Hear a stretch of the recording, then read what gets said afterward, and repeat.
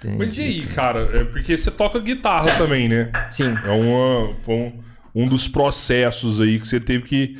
Foi obrigatório, né, mano? Você saber tocar guitarra. Sim. Mas o que, que rolou primeiro aí na sua vida? Primeiro você quis ser o Slash? Ou primeiro você começou a tocar guitarra e falou, não, mano, agora eu vou fazer um, um cover do Slash? Cara, eu comecei com bateria e é uma das histórias mais bizarras da minha vida. Eu comecei como baterista por causa do RBD, mano. Aquele Eu sei, lá. o Rebeldes lá. Isso. Sério. Cara, e como é que você Não, virou calma. Slash? Não, só, Não, tem, conta tem uma aí, explicação, mano. tem uma explicação. Eu era novo, meu pai sempre tocou violão, meus pais amam música, então eu cresci ouvindo MPB, rock nacional. E aí eu comecei a fazer pintura em tela.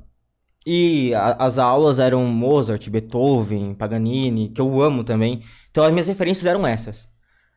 Aí começou Rebelde. Tinha a Dulce Maria, que fazia Roberta. E ela namorava o Diego. E o Diego era baterista. E aí, na minha cabeça de 8, 10 anos, se eu começasse a tocar bateria e fosse melhor que o Diego, eu namoraria a Roberta. Caralho, que planejamento fantástico. Não, você tinha fantástico. conseguiu concluir? Não. um dia, um dia, quem sabe. E aí você foi pra batera. Era uma declaração de amor pra Isso. Roberto, isso daí. Aí eu fui pra, pra bateria, né? Aí, no começo, bem difícil. Depois eu subi pra orquestra. E tava Caralho, feliz ali e tal. Eu era o garotinho prodígio, sabe? O modelinho de- da família. E aí, um belo dia, eu já conhecia MTV, né? Já tinha visto o Switch do, do Guns, só não tinha reconhecido.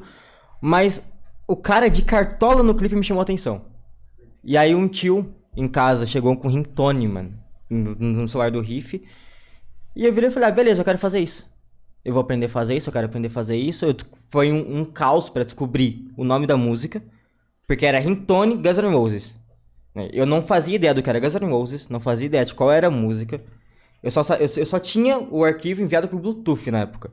E aí meu- meus pais têm coleção de, de CCD, de DVD, falaram pra mim, ó, em algum desses CDs aí tem, procura. Eu olhei tudo e não achei. Eu passei um dia inteiro olhando e eu não achei. Aí resolvi, por destino, jogar o nome no YouTube. Aí eu achei. Aí quando eu vi o cara, eu já tinha cabelo grande, né? Tava começando a, a deixar crescer, tava mais ou menos aqui. Aí eu virei e falei, não, eu quero fazer isso. Foi, esse, esse foi o estopim, foi assistir o clipe e falar, eu quero fazer isso. Qual que era o clipe? Sweet Child O' Mine.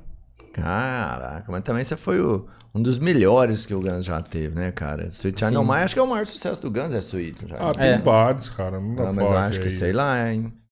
Vocês acabaram de assistir um corte do podcast Três Irmãos. Se vocês gostaram disso aí, se inscrevam no canal, vai no canal principal também e fortalece com a gente. Tamo junto, vamos lá.